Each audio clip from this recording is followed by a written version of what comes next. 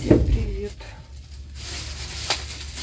Сегодня мы с Татьяной решили съездить в пункт сбора гуманитарной помощи и отправить гуманитарку кое-какую. Я вот пакет набрала. Покажу подъезда. Ну, у меня немного, у меня две куртки и два свитера. Вот они, конечно, много. Там памперсы еще.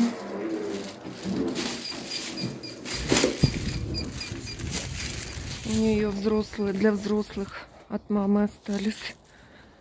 Вот. Мама уже умерла, а в упаковках новые памперсы лежат. Передаст. Ну и так, с одежды мы звонили, спрашивали, какая одежда, ну, какую одежду принимают.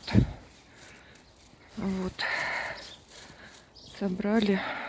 Сейчас я еду к ней в район, потому что там от нее ближе. И оттуда, ну и у нее больше вещей, оттуда мы уже поедем в волонтерский пункт. Так, сейчас иду на остановку автобусную. Так, заходим в подъезд и направляемся к лифту.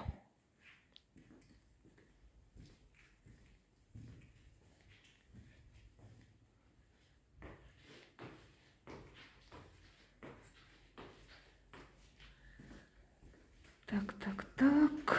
Так, лифт. Нажимаем на лифт. Пока Татьяна там пакеты докладывает, складывает. Так, давно я у нее не была в гостях, но она ремонт переделала. Немножко стены у нее были белые, а сейчас такие какие-то такие бежевые, бежевые в такие листочки. Вот. Здесь она спит, и у нее часто сын ночует. Сын живет в Подмосковье, в Подольске, но частенько у нее ночует. И вот у нее такая вот кися. Что самое интересное, они ее никак не назвали. Зовут Кисик. Ну это вообще нарочно не придумаешь, да? Кисюлькин. Ой, ты такая зеленоглазенькая.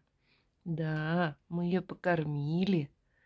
Она покушала, да, кисюлик?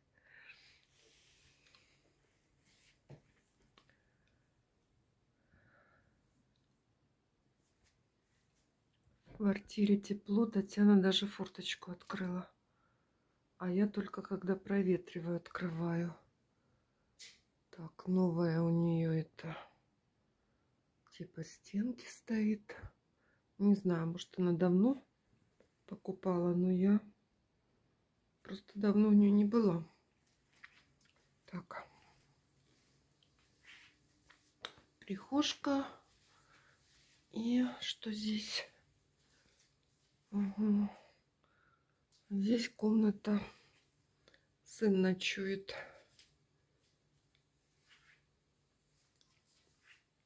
Работает за компьютером. Ну, такая вот.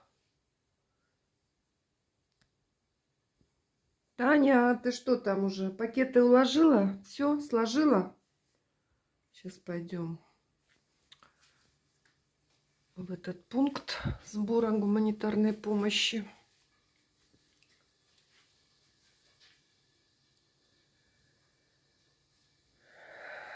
Отнесем. Да, Кисюлькин? Кисюлечка. Ты такая славная моя. Да, моя маленькая такая, да? Масик. А что? Что такое? Ты ко мне на руки запрыгивала, это мяукаешь. Что, потревожила твой покой, да?